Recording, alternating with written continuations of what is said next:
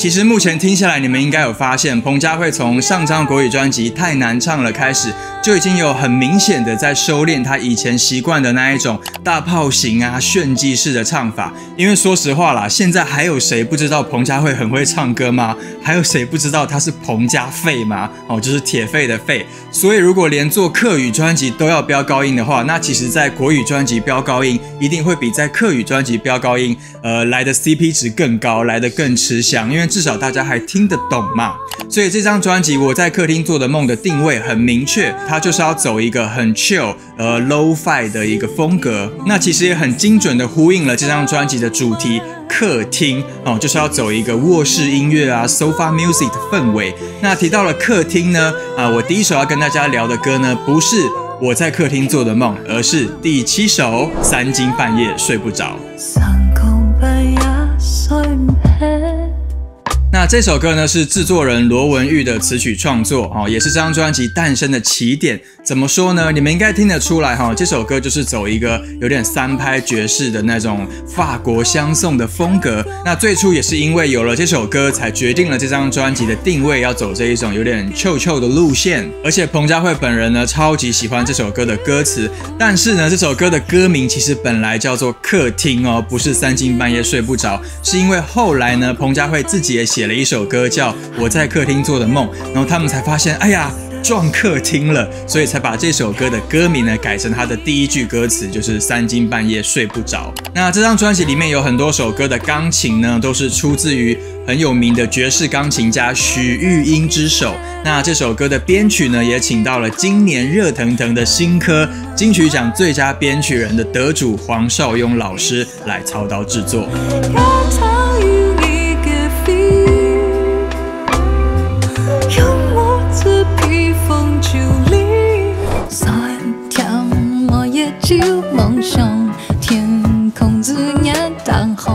那回到这张专辑的同名歌《我在客厅做的梦》呢，是彭佳慧自己谱曲的作品。那这首歌诞生的过程也很有趣哦。它是彭佳慧在今年母亲节的时候呢确诊了，然后她在居家隔离的那十四天之内呢写出来的歌。那因为就是不能外出嘛，被迫困在家里，所以只好每天胡思乱想。那也就激发了她这首歌的创作灵感。那这首歌最屌的是什么呢？彭佳慧是 one take 唱完的哦，也就是她是从头到尾一气呵成录完哦，不是一句一句录，然后也没有经过任何后期剪接哦。然后当初彭佳慧就是进录音室，然后一口气呢就录了三遍的 one take。那罗文玉呢，最后呢就从这三遍 one take 里面选了其中一版的 take，就这样。这样原汁原味，所以在这首歌里面呢，你会听到彭佳慧非常松的声音表情，然后还有一些像说梦话的那种呢喃的迷之音呢，也都原汁原味的保留在这个成品里面。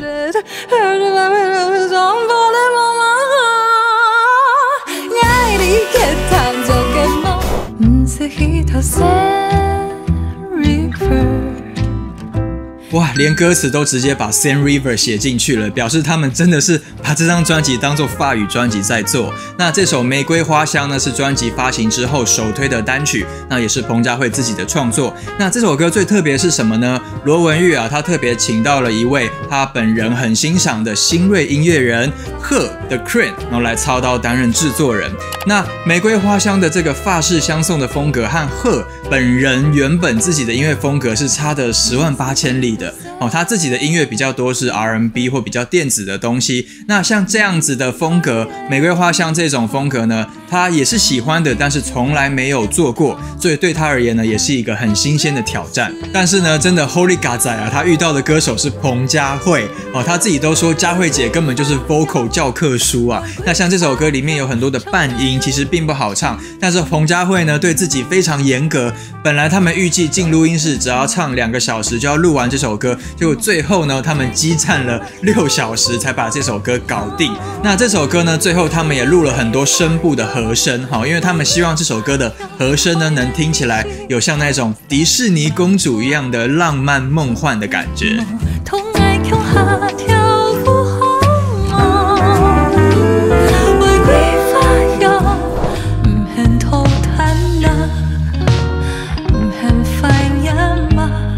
再来这首歌呢，也是彭佳慧自己谱曲的歌。那她的歌词呢，请到刚刚有提到的吴亦荣呢来填词。那为什么会想到找吴亦荣呢？因为虽然吴亦荣的专长并不是在音乐这一块，但是他在广播啊、电视啊、电影啊、剧场啊的表现都非常优秀。那甚至还有出过书，所以他的文学底蕴呢，绝对是没有问题的。而且呢，非常巧合的是，吴亦荣和彭佳慧他们竟然是同乡哦，他们都是屏东县林洛乡六堆的客家人。哇，now. 这个真的是上辈子就注定好的缘分了。那这首歌写的是客家女人的那种应景精神。那有趣的是呢，吴亦荣写好歌词之后呢，他有自己亲自录了一段朗读歌词的口白，寄给彭佳慧，让他练发音。哦，因为客语的腔调其实有很多种嘛，什么海陆腔啊、四线腔啊等等之类的。那罗文玉在编曲的最后关头呢，突然灵机一动，哎，把吴亦荣的录的这段口白呢。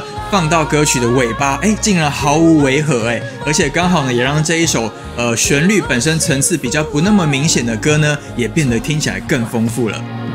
从门打开，日头皮多满山呐。生活有一种温柔。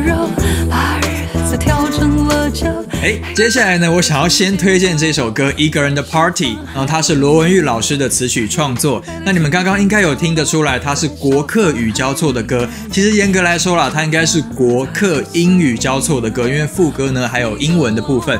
那这首歌他们当初设定的目标呢，就是要让彭佳慧成为台湾版的 Amy Winehouse。好，所以这首歌我觉得在专辑的后半场呢，哎，会让人有一种耳朵一亮的感觉。哈，这个旋律非常的棒。那他的编曲跟制作呢，也找到了黄少勇老师来操刀。那我相信小勇老师呢，在这首歌里应该也是玩的非常过瘾的。那他的下一首《我要把你吓死哦》跟诗的第一行呢，你们应该都已经有听过了，也都很熟悉了。那我就不再多做介绍了。那等等回来呢，就来跟大家分享我个人呢在专辑里面。最喜欢的一首歌。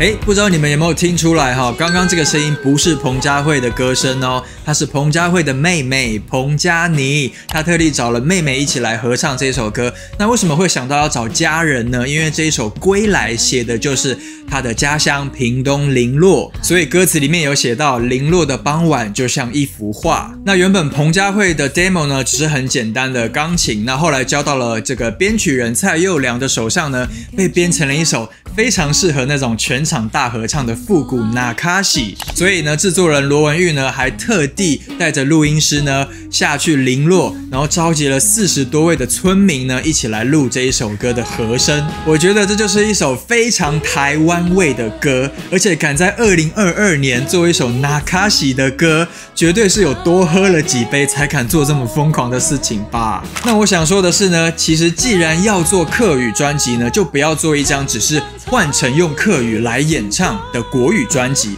哎，那就会变成换汤不换药，或者呢，他只是在卖弄语言啊，卖弄种族啊，可能反而还会引起一些人的反感。哦，但是彭佳慧呢，她把主轴就扣紧在客家女人心，还有零落家乡味哦这两条故事线呢，去发展出这十首歌。那先不管歌迷的接受程度到哪里啦，我觉得至少这一个呃专辑的设定脉络呢是非常合情合理，而且呢也很有说服力的。